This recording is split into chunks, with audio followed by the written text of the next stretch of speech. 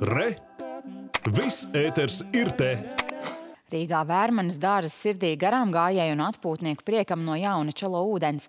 Pilsētas vecākā strūklaka gada laika atkal spoži mirts saulē. Rekonstrukcijas laikā nomainītas arī zilās baseina flīzes, kas pirms vairākiem gadiem raisīja rīdznieku sašutumu par arhitektūras pieminekļu bojāšanu. Stāsta Madara Līcīte. Strūklakas gadalaika skulptūra izgatavota Berlīnē un uzstādīta 1869. gadā un bija tolaik graznākais tēlniecības darbs pilsētā.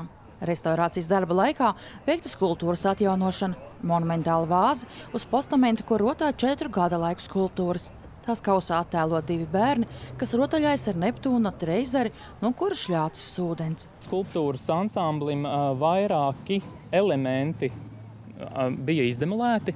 Tad mēs šobrīd redzam loku un bultu, un, ja nemaldos, tur daļa vispār nebija no apakšā sēdošā elementa. Tad bija arī tās lauvas atsevišķas, bija jau nezinu, nokritušas vai norautas. Un, un mēs pat esam rakstījuši valsts policijai, lai uzsāktu kriminālu izmeklēšanu. Tajā gadījumā, kad apsekojot, esam redzējuši jaunus pazušanas gadījumus, bet, protams, neesam atraduši vainīgos. Un nav tā, ka mēs šeit tikai esam faktiski piepildījuši ar ūdeni un uzlikuši šo uh, akmeni virsū.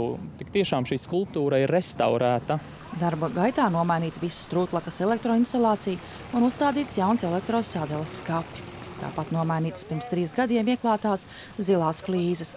Būvnieks, kurš uzņemtos veikt sarežģītos atjaunošanas darbus, atrasts pēc vairāku konkursu izsludināšanas. Tas, protams, bija izaicinājums, bet nu, mums it kā viss izdevās. Mums bija tēlnieks Kārlis Ālēnis, kurš taisīja figuras restaurāciju. Tur bija diezgan pamatīgs darbs, jo figura bija nu, gandrīz viss sabrukusi. Un, nu, pārējo mēs kā celtnieki atjaunojam to visu baseinu un uzlikam jaunas granita plaksnes, kuras nāk no Portugāles. Strūklaka tumšajā laikā tiks izgaismota. Tās atjaunošana izmaksājusi ap 78 tūkstošiem eiro. Madara Līcītainis Kupčs, Latvijas televīzija.